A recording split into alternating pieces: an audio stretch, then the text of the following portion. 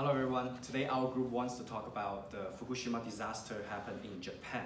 This is my group member. In March 11, 2011, something really bad happened in Japan.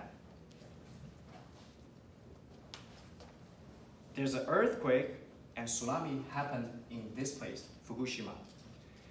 The earthquake and tsunami, all this environmental issue caused an explosion in nuclear station here.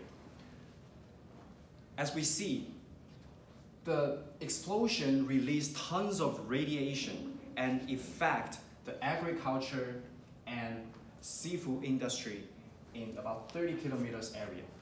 So this business had a great impact. This is a map of Japan, and this is Korea, and this is China. Korea and China are the largest business partner Japan. Every year, Japan export tons of food, like rice and seafood to Korea and Japan, uh, and China. So after this disaster, the demand from Korea and China decreased. And they decreased the export, import from Japan. And uh, they even seal the cargo. They stopped the cargo from Fukushima. So the Japanese business had a great impact because of the disaster. Let me give you guys an example.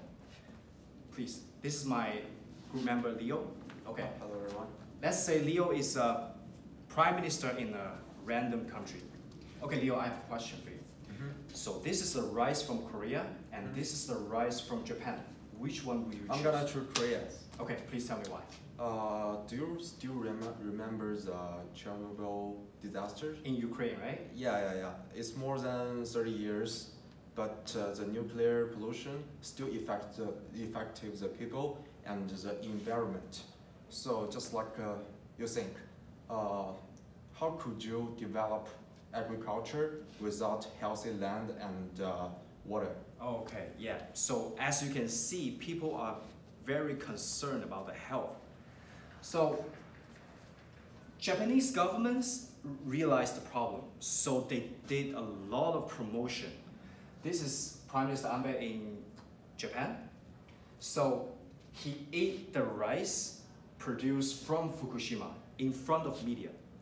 The Japanese government tried to persuade the world and let the world know we are fine right now and our products are still good.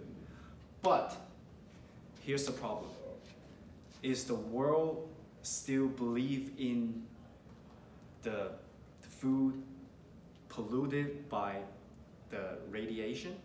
So that's still a problem today. Even today, Japanese business had a great impact because of the nuclear disaster in Fukushima. And it caused by earthquake and tsunami. Thank you everyone.